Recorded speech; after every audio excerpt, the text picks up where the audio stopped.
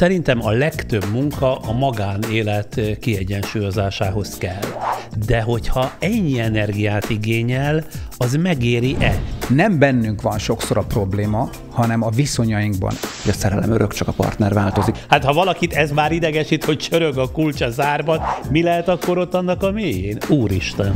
Tehát, hogy a boldogan éltek, amíg meg nem haltak, ugye hát ilyen nincs. Biztos van közöttünk egy szuperfelnőtt, aki majd helyettünk gondolkodik, és ő majd megmondja, mit kell csinálni. Tehát szoktam hallani, hogy ja, hát neki pénze van, viszont nincs lelke, szóval, hogyha tényleg ezek kizárnák ezek a fogalmak egymást. Csak azt mutatja meg, hogy sikeres volt valami Az, hogy sikeres volt, ez nekem elég. Az anyagi gazdagság egy dolog, a lelki gazdagság sokkal előrébb van.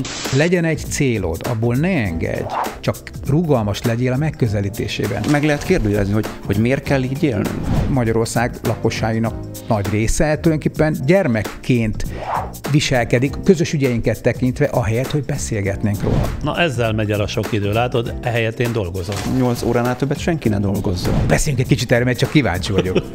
A világ életemben minimum 12 órát dolgoztam.